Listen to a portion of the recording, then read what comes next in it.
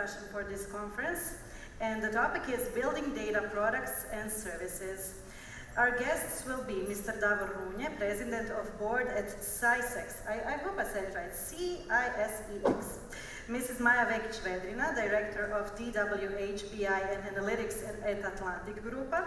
Mrs. Smilja Plišić uh, Velimirović at, uh, from Hrvatski Telekom. And Mrs. Angela Čulibrk, product manager and Thingsolver with whom we will talk about building data products and services. And our moderator for the panel is going to be Alexander Linz Georgievich, who you already had the chance to meet before. Okay, I will now uh, give the words to Alexander and the panelists. We will see some video and then Alexander will take the floor. Enjoy.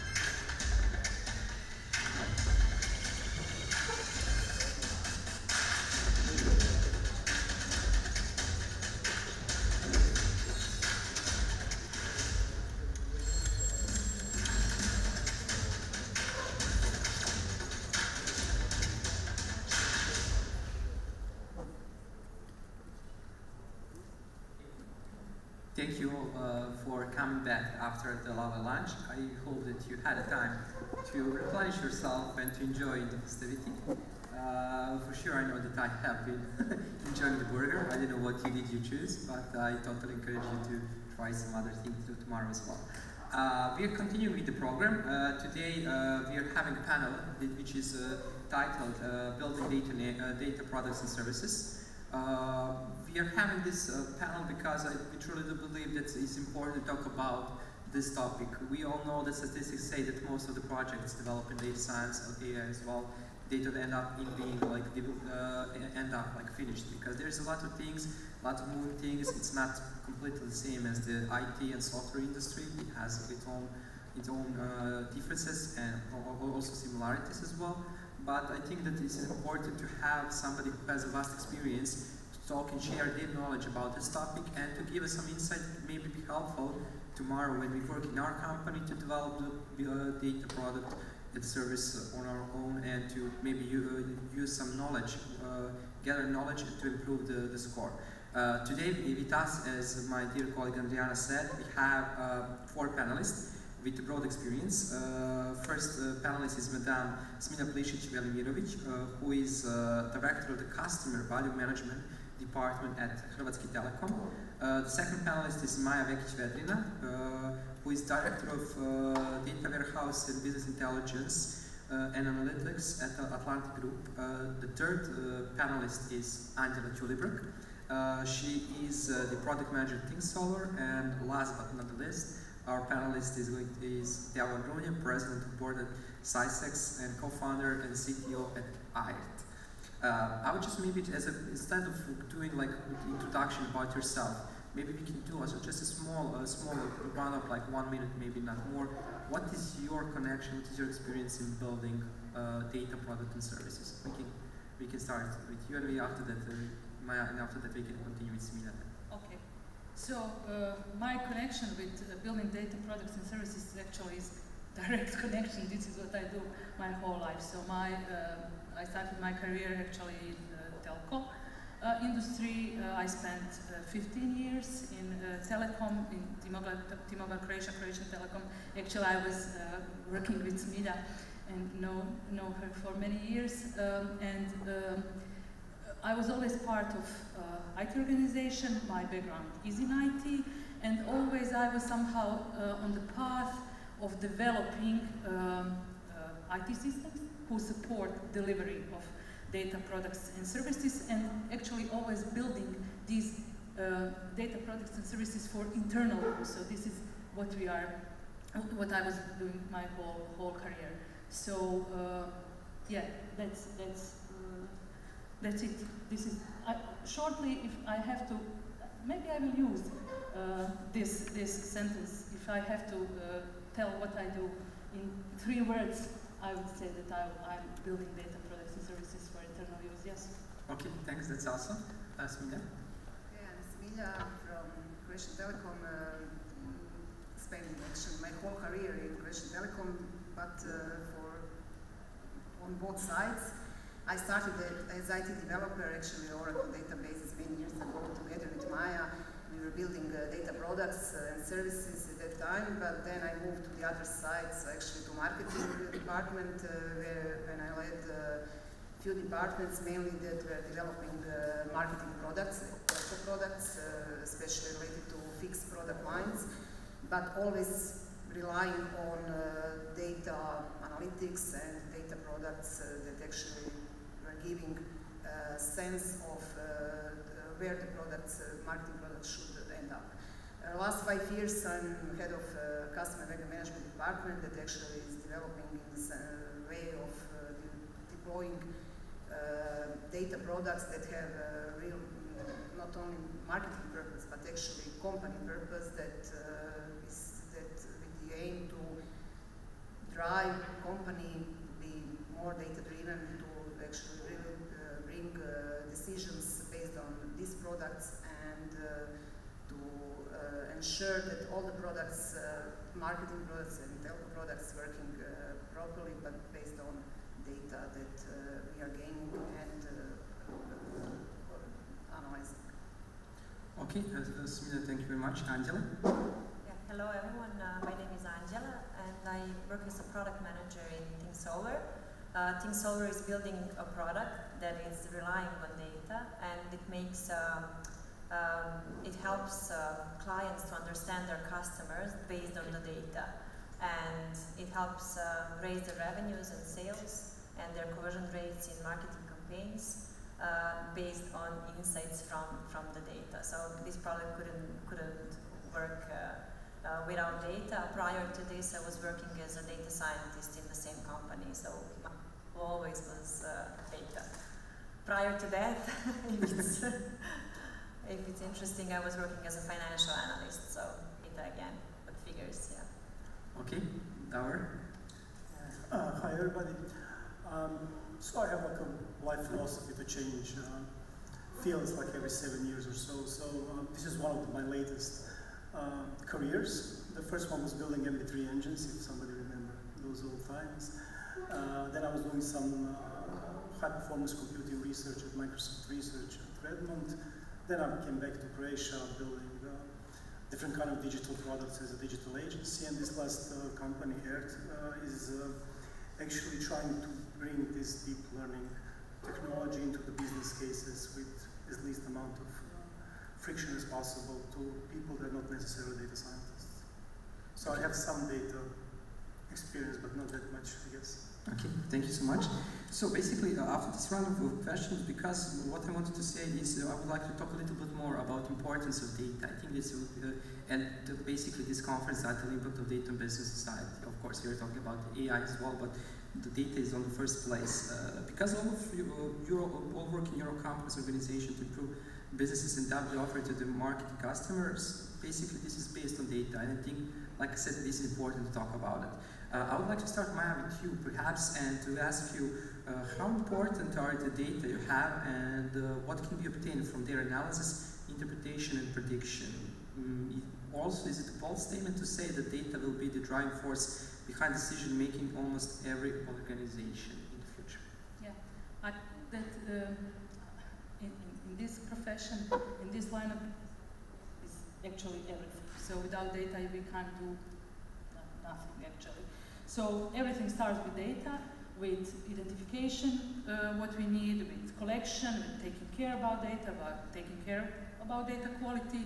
I think that you know when we are talking about um, data science, this is maybe um, exciting part, you know, how to use data, but without this uh, difficult task at the beginning to, to collect it, organize it, store it, and govern it, uh, we can't do much uh, after that. So I think the data is really uh, extremely important, and I can maybe share some experience and some views on data uh, based on my uh, experiences. So I said that I uh, uh, used to work in, in telco industry. Now I'm in Atlantic Grupa, which is in FMCG industry, and I think it's very important, you know, and different um, based on industry, based on a specific company, how you approach the data. For example, in telco, I think telco uh, bank, similar companies are blessed because they somehow control whole data chain from service. They know who is uh, customer. They know how the customer is using the service.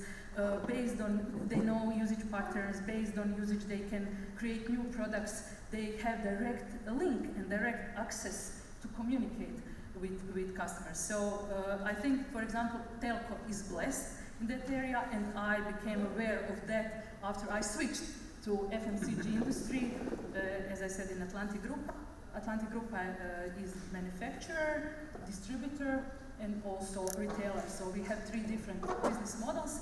And when you uh, switch to different industry, you see that actually you don't control whole data chain, and you have some some challenges uh, because of that. So, for example, if you, if you uh, take an example of some company, you, you know uh, everything, you know, you know what you produce, um, you control the data until your goods uh, leave uh, your company. But after that, you have no idea who, who exactly is your consumer. We don't know which of us actually bought the product.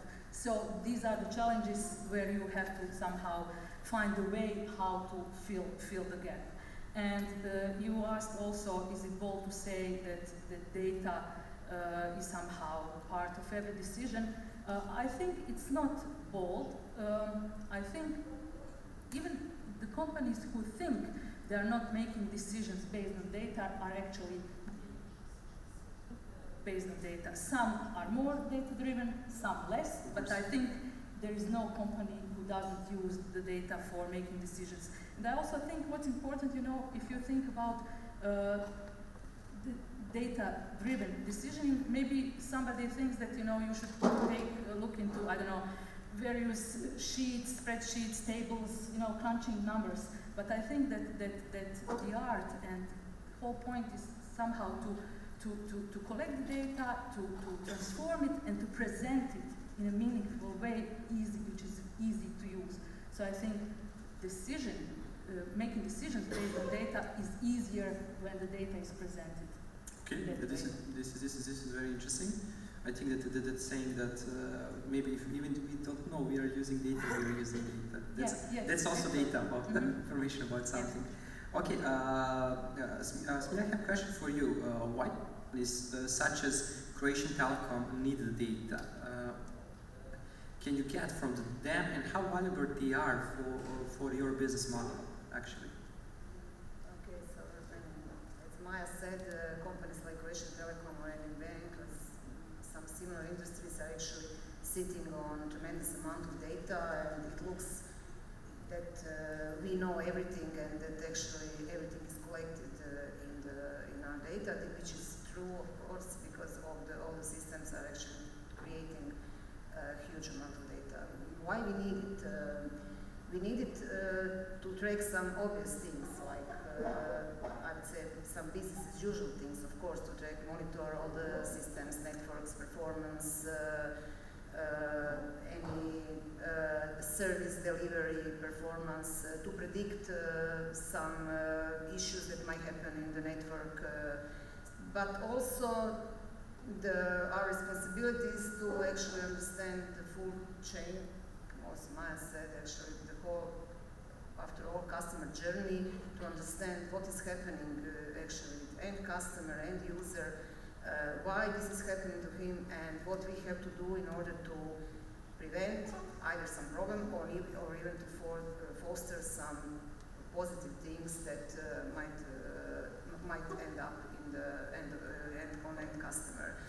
Um, so I would say that uh, the whole use of data is not just use of data; is actually applying uh, products in everyday business and in any in every actually sequence of the of our business uh, units or any kind of processes. So it's not uh, just crunching data, analyzing, Of it's course. also implementing the whole uh, end-to-end process to, uh, to be completely relying on the, on the data that uh, we are producing and uh, processing.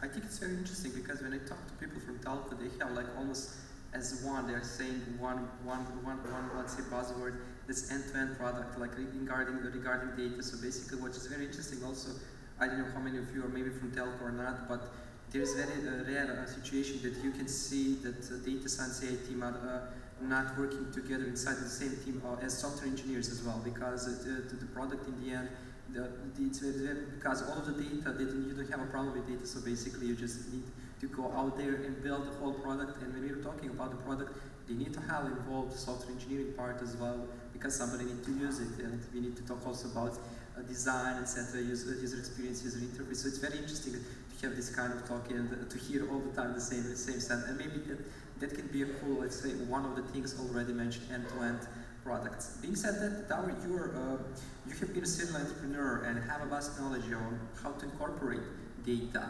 uh, uh, in the products for almost, I think, 25 years. If I'm correct, if I'm wrong, five years more or less, I'm not sure, but I think that it's 25 years. Uh, how much has the data awareness changed over the previous years? I think that you maybe we do the, the best one that we can ask this question. And also, do you think that we are uh, ready to become a data-driven society? It's, it's, it's much wider, I think, phenomenon than just data science world. So, um, so I, I started my first company in '97, it's almost 25 years ago, um, and uh, the past 25 years was pretty much dominated by new communication capabilities. So we went from the modems to bigger, faster 2Gs, 3G, 5Gs, whatever Gs we have. And right now everything is so fast that actually I have a few 5G phone if difference anymore because we are like reaching the plateau where we don't know what to do with this excessive bandwidth latency and so on. Um, Ten years ago in the research basically started a new revolution which is just coming to industry right now. So uh, this whole uh, disruption created by, by deep learning is slowly entering like every part of the society. And I think like the past 25 years or so were dominated by internet and, and trying to get everything online. Uh, the next 25 years, I think, is going to be dominated by now everything is online, everything is generating a lot of data. Let's be smarter about what we do. So I think it's not just it's, it's much wider thing. It's like really a societal shift, not just even computer science, because the internet made a lot of consequences for the society in general, not just business, but society in general. And I think the same thing will happen now with the data. Now, now the data is new internet. Like it was like what, what internet was 25 years ago, and all these things that has to happen the next 25 will be mostly data driven. Uh, either data or algorithmic, or but it will be more focused on like what do we do with all this new information that we generate on online, than how to be faster online because that's pretty much I think reached the plateau where we don't really care that much about it.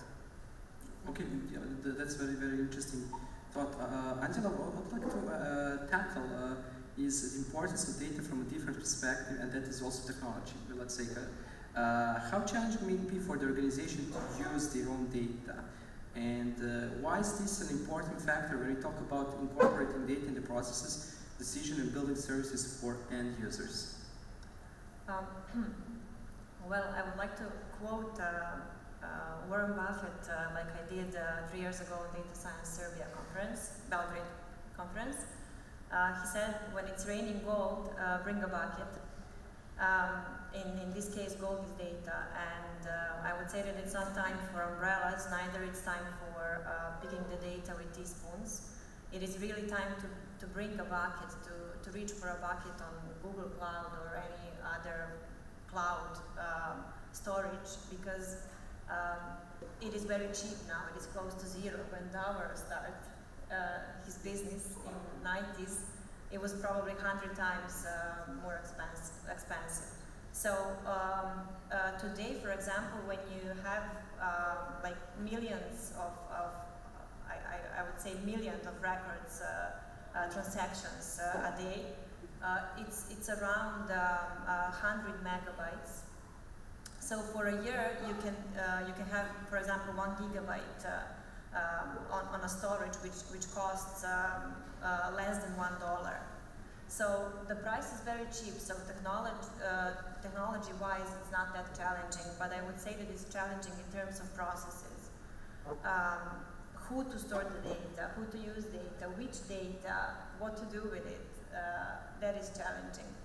Um, but fortunately, there are companies like like uh, like Thingsolver that that uh, solve it, these problems. But I would also like to say that nowadays um, uh, our clients are collecting data uh, they don't need because if you collect like three years of data, that's enough to do some uh, um, some analysis, which is very valuable that, that could give insights. And our clients are data uh, they don't need and they think that they would need in future. Um, for example, probably Hrvatski Tele Telecom is collecting data that they don't need at this moment, but maybe uh, they'll need it in future, or they would use it for data monetization. Maybe they will sell it to, to Atlantic Group. Um, so um, yeah, technology-wise, it's not that not that uh, challenging. And why important? Well, probably all in this um, um, on this conference know that data is important. Um, but I will tackle just one segment of our product, which are um, recommendations that we create for um, the client's customers. Um, so before, you would have a brick and mortar shops, and uh, our clients uh, must re rely on their sellers, their cashiers, to on their memory, on their intelligence, on their um, effort and willingness to recommend some products to, to their customers. And now you have uh, e-commerce or even online online solutions. Uh, you have even brick and mortar shops that can rely on data and that can make recommendations to their clients, to their customers um, that are driven, uh, data driven. So um, that's why it is important. It, um, it can it can have mind of like hundreds of sellers it can have their memory, their intelligence, and it could give good recommendations to customers and um, um, it could improve customer experience and of course raise revenues and yeah I totally agree. basically what we are talking about you're talking basically is not only like just uh, blindly with technology but uh, help to use help us in the processes. Okay something is burning uh, but uh, the thing is or what I wanted to add is that uh, I totally do agree. In the end, yes, content is the king, but sometimes content needs to be found by the customers. If you have a good content and customers cannot find it, then it doesn't matter like how good the content is. Basically, I think that what we are talking right now also that we are building data and AI products is about uh, not only uh, not only having having also key end-to-end -end, uh, product like as a technology, but also like something that's already existing to to infuse it together with technology and that's to create the, win-win situation. Uh, being said that, and when we started about talking about building data products and services, uh, you also have a vast experience not only as an entrepreneur but also as a startup mentor. So basically, uh, how hard may it be for startups uh, to build their own product service based on data? And maybe in your opinion, what are the one, maybe three five, whatever you that can be. I think that we can go up to 10, maybe to 15 if we have time. But what do you think they are the most common mistakes or obstacles the organization can make while building the product and how to avoid them? What is your tip and tricks for that? That, that thing is kind of timeless. I mean, uh, the product is a product. So you need to iterate fast. You need to go to the market as soon as you, you need to test your assumptions. I mean, I could tell you all those things talking about MP3s or high performance computing or data processing or whatever. It's really, uh, this, this data skill is quite old actually, and it's been around for a long time. So, um, what I found, like in, in practice, the, the, the most successful stories were always uh, the stories that were between, I don't know, like two different technologies. For example, um, if you want to make advance in AI, machine learning, data science, whatever, it's very, very difficult because the field is well known, a lot of people working on it. But if you want to improve, I don't know, use of AI in particular kind of healthcare, patient is usually like one to two. And then you can do miracles. If you, uh, and if you look like the really successful story, there's always a combination of having somebody who is good with the technology but also somebody who's actually domain expert, somebody who, who has like a longer vision what they want to achieve and they use technology to get there. Uh, purely technological companies are extremely difficult. I mean, I found a couple of them, so I know it's like a really hard business and it's very easy to burn them to ground. Did a couple of times, was successfully not. But uh, uh, where you should be looking for um, success is usually by saying, oh, I've seen something working quite well and something similar, let me find a new application. And you know, mentoring, these are like the things that are usually the most successful ones. They, they typically don't come from like IT background, but have some like really good domain knowledge and then they found some co-founder that actually put in delivering that thing. That was, uh, that was I think, uh, the winning combination so far in the, the things that I've seen as a mentor. I think that uh, what you mentioned is multidisciplinary team. That's something that I, I this is something that I stress out. Uh, I would like to stress out the multidisciplinary teams are something that is very hot topic right now. It's not only about data science and AI building the products, like it's together with I don't know sociologists, psychologists, marketing experts, domain experts, as you said. When you put it together on the same same ver vertical, same same same like of uh, decision making level, founders level, the success rate has shown it to be like five to six times much greater like in building products because the, the, the, the wide network of knowledge that can be infused in that product in the end. Okay, somebody need to code it in the end, but the vast knowledge is really, really doing something. Second thing you said about iteration is also very, very interesting uh, and thing that we all the time talk about it's iteration is important, iteration is important, and still I think there is a lot of companies who are doing data science AI on very high level and still don't don't have like not capacity, but don't have like uh, the maybe knowledge of the good word to do that uh, iterative process like on some let's say something that is not ad hoc from project to project, but to, to make it in some kind of methodology. Maybe it's that something can be infused for the data science AI in the future. Uh, to continue in, uh, in this manner, uh, I would like also to, to ask Maja, uh, what do you think, what are the pre uh, prerequisites that company needs to make so they can build an effective data product, improve its business? And uh, how hard it may be to create a balance between everyday support of the business, which is very, very important, and also something to create some new solution that maybe in the future, in six months, one year, maybe even 18 months, can bring much more value to the, to the company itself. Yes, so I think that first company decides. So I'm always talking from this internal perspective, building pro uh, product for internal uh, use. So if company decides to go to, to, to, go there, actually, I think be really decision and determination because it's not easy. It's, it's fun, but it's difficult. So I think maybe three major, I think, ingredients. What you need are definitely data. We were talking about it. Without it uh, and collecting it, taking care of it, uh, we cannot uh, achieve much. Uh, the other thing I think very important is uh, building teams. So you have to build uh, teams, obviously IT teams, data engineers, um, business intelligence experts, data scientists, all different profiles. But also you have to build, uh, in our case, key user community. So again, we, we were talking about uh, people from, from different disciplines, actually to, to bring on board internal users, key users who will use and exploit uh, exploit the data and exploit this uh, data product. So I think building competencies and building knowledge and this, uh, this, this internal team, I think it is crucial. Uh, obviously you need some technology, but I think this is the least uh, of the problems and, and let's say challenges you are, you are facing. And uh, I think you, you said, you know, what, what is needed to, to achieve successful uh, data product. I think at the end, the, in our case, internal user is uh, actually somehow deciding is it useful or not. You know, By it- using your by using it by uh, adoption, Uh, or it, it is just you know we trying to to, to, to, you know to, pro to provide something. So in our case, if we are able to provide insights, for example, in product profitability, if we are able to to, to give recommendation, you know, where to put specific product in warehouse to achieve maximum of eff- efficiency.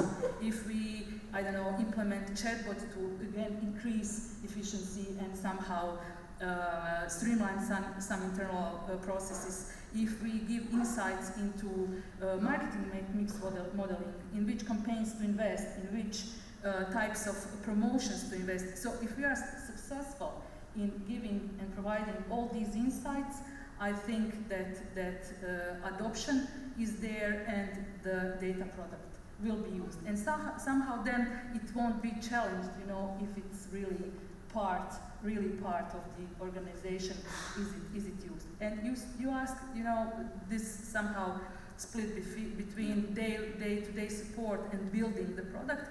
Um, the strategy we somehow try to implement is to base our, um, our uh, products, internal products, data products, based on self-service. So again, these key users I was talking about from different uh, parts of the business, they play a really important and key role because we as IT organization provide capabilities, provide enablers, and they are key users who actually exploit the, the, the, the, the data and uh, uh, reach the insights. So I think in that, uh, in that model, then this day-to-day support somehow, it, it is not so much focused on IT organization and you are focused on building the product itself. So this is the way how we are trying to, to, to, to approach.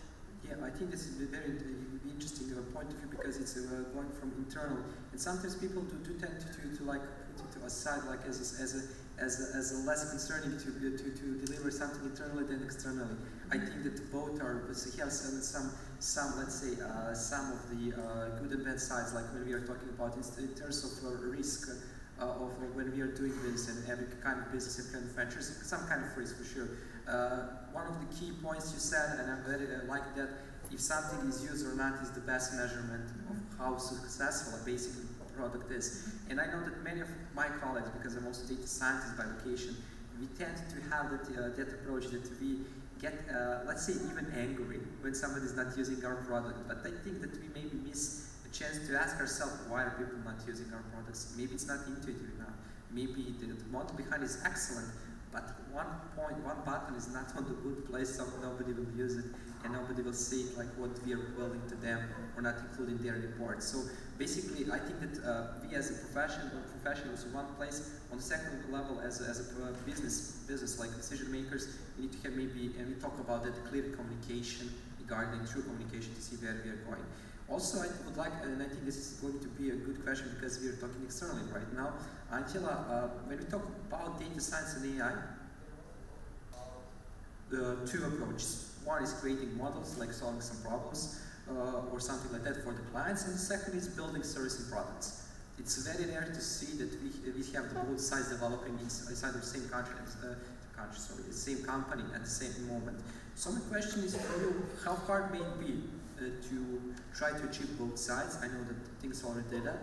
And second one, in your experience, what are the main differences in these two approaches?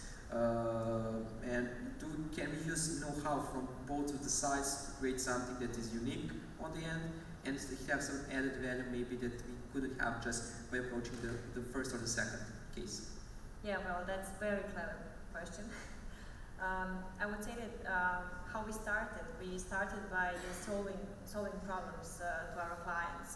And um, we kept on doing that because um, uh, apart that we have a no bullshit approach, but really um, we uh, are making products that are solving uh, problems and I'm, I'm underlying a very important point that it has to be measured um, and it has to have uh, added value. So that added value has to be measured, presented to, to our clients. And uh, out of it, we managed to, to, to, make, a, to make a product. Uh, so, um, but I would like also to add um, something that like uh, when, when we started solving problems, like for example, take churn.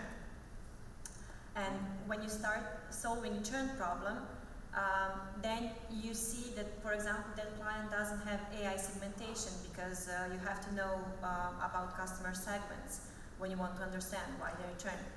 Um, and for example, they, they manually make segments and they have like fixed measures measures for, for clusters. So uh, we propose to have AI segmentation and they accept. And then other uh, clients see that, that that segmentation is good, say they want also AI segmentation.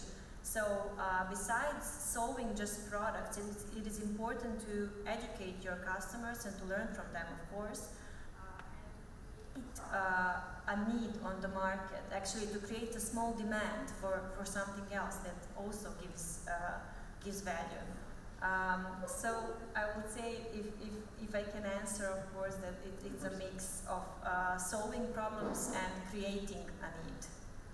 Okay, uh, yeah, of course, you said, of course there is, uh, of course, the financing is also one important topic we, are, we didn't discuss here because in the end something yeah. needs to be financed and that is, let's say, intro for my next question for Smilja for you is uh, what is the value of building effective data product in one organization in terms of different, different aspects, of course, and how important is the culture of the organization and communication between different silos in the same. Uh, and last but not the least, as I mentioned before, how challenging can it be to get the funding inside of the company. Sometimes we do tend to forget that we need to get approval. Even the company has money, we need to get approval for internally building some products. Well, yeah, I would say that uh, you partially all answered already to uh, questions, uh, especially now about this, uh, how to finance the product. Uh, so the product has to have, uh, like any other product, clear purpose and presenting, like Andjela also said, that will bring. But how to how to present this value is actually now we are going to this silosis and maybe to this end-to-end -end, what you mentioned, but this in, in such huge companies, probably this end-to-end -end as a word is something that uh, is something that is in us, that uh, we see this as uh, the whole, all the silos that should put, put, put together, but actually from the customer perspective, it is really end-to-end -end process. Or from the customer journey perspective, it starts somewhere, customers is using, and we see all, all, everything in the, in the data, and we understand the whole customer journey based on product. But how to create the product is actually the question, uh, what is the needs, like any other, as I said, from marketing perspective, uh, you are starting with uh, market needs, uh, understanding uh, uh, whether we do have such um, data or any other uh, product that can fulfill that need and how we will uh, develop it. Uh, so when we talk about customer journey improvement or NPS prediction model or uh, churn model that you just uh, also Andjela mentioned or um, any other model actually uh, we have to understand what are the issues. That's why I also mentioned sociologists, psychologists, market that actually we have to ask also sometimes customers what is the something that is bother them customer experience and then to try to find that in the data. So maybe not always starting from the data because also what you just said that we have a tremendous amount of data. Some of thing, these things are useful, some things are not useful if we don't understand how to use it, so how to transform it in the meaningful and useful way. And uh, when you collect, when you start with a project uh, that is building data product, you have to have all these components together. So domain experts, uh, market researcher, uh, marketing uh, managers, course, data scientists, data analytics team, IT support, but uh, just to start with a big picture, what we want to achieve, where we want to uh, uh, come, and then to start a little bit step by step. So not to start immediately uh, uh, with huge projects because then sometimes this uh, value is not visible immediately. But uh, value can be visible even with some MVPs and some uh, smaller uh, segments of this uh, end goal, what we want to achieve. So actually, this I think is answering how this services. And then the finances, come, financing or support from stakeholders is coming just from these first visible results and with measurable KPIs that are really mm, can be set up uh, uh, really uh, very very clearly and properly. And then the whole puzzle is just then going bigger and bigger. Yeah, I think oh, that, that's excellent point to create uh, some kind of results, show the results after that, get bigger funding. That, that, that can be a good approach not only, and that's some approach I think that for these kind of uh, expensive projects needs to be because uh, not all of us, understand, especially if I mentioned, not necessarily all the time understand the whole aspect of technology for them. E even if it's explainable, it's still uh, basically that, that's excellent. Okay, uh, almost here and at the end of the, the, panel discussion, this like went very, I was thinking that we just started one minute ago because it was very interesting, but I would like to get, give you all, all a, a chance to uh, have some kind of conclusion. Uh, and uh, my question to you, would you like to add something to, to what we already mentioned? And if not, maybe what would be your message for small, medium, or large, or whatever organization would like to create their own data product or service? And maybe we can now start with Davor, and after that, Maja to just go in that line, if that's okay. Okay, uh, I'll be quick. Um, it's very early in the game, I would say. So we're, we're looking at 20, 20 years uh, ahead of us. Uh, it's a time of uh, low-hanging fruits. So I mean, whatever you do, pretty much will be successful, regardless of the strategy, because well, it's easy to do. Uh, that's one way to look at things. Another thing is to try to look how the things will develop in the next 10, 20 years. And this is where it becomes a little bit more interesting because it's more also like a, a social environment, uh, how the business is developing, uh, what happens when the industry gets more mature and, more, uh, and so on. And um, there are a couple of strategies then. First, they want to like have some kind of a startup that will be leader of its niche. It's a, it's a different strategy than if you're trying uh, to do some consulting companies. Um, success of IT in Croatia in the region was basically built on, on services, uh, which is not really possible, I think, anymore, because with remote work, with uh, such a such a such a movable uh, workforce, it's very difficult to have the same environment as we had like 10 years from now, a year. So um, I think everybody will have to focus more on products, definitely less on services, because they will not keep their employees. And uh, this will be quite a big shift in industry, in IT in general, not just in, in, a data tech. And in the data, there's a lot of space right now to start something and to gain traction, because in 5 or 10 or 15 years it's going to be too late. So now this is like a good time to start.